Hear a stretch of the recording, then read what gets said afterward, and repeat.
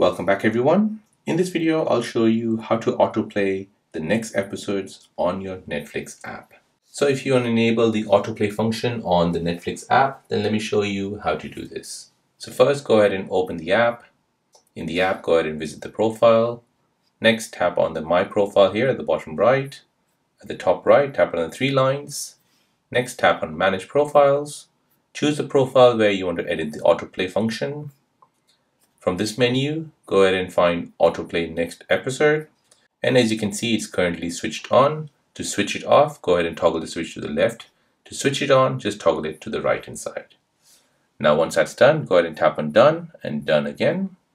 And now this will change the autoplay feature on your Netflix profile. So there you go guys, that is how to autoplay the next episodes on Netflix app.